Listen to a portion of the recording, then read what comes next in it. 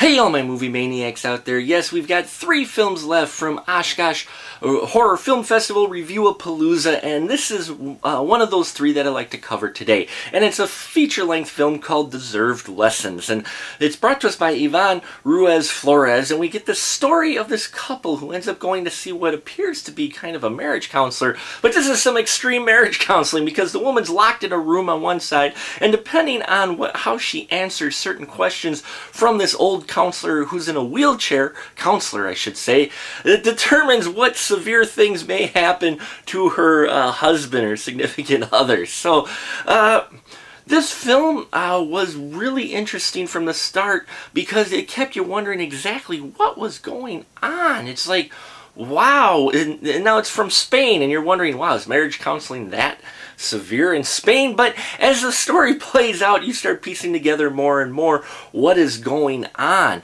And then by the end of the film, you're like, Ah, so that's what this is all about. Now, I enjoyed all the performances by the actors and actresses in this.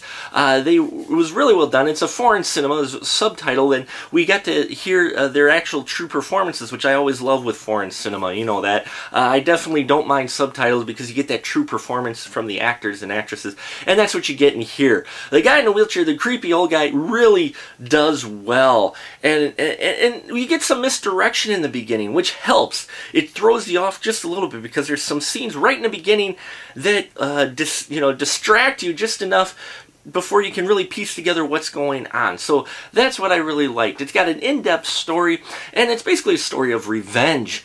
And now, the only problem I kind of had with it was in the editing part of it, there was, uh, they did some flashbacks near the end to kind of catch you up on why all these crazy things are happening to this these two people.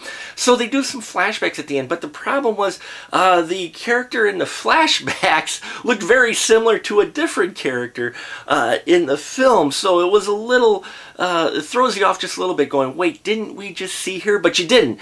Uh, but they could pass as sisters because they looked very similar. So that threw me off a little bit, not realizing, oh wait, we're doing a flashback. So outside of that bit of editing and storytelling, uh, I really enjoyed it. And by the end, it really had uh, the audience talking. Uh, we were all trying to piece together exactly, okay, so this is how this happened. And once we realized where the flashback scenes were, then we then the story came together which you know and sometimes eh, good movies do that they allow you to talk afterwards give you something to talk about and this one definitely will uh, I enjoyed this I hope it doesn't get an American remake because it, it just I think would lose something it's always fun to see different perspective of horror from the foreign cinema and this one definitely had that there's some extreme scenes in here as well some disturbing scenes and it's just it was great for uh, horror fans. I think you should definitely check it out if you can at a festival near you.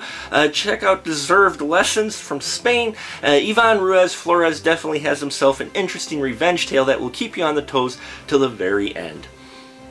And that about do it for us here at The Final Cut. Till next time, keep that ticket stub.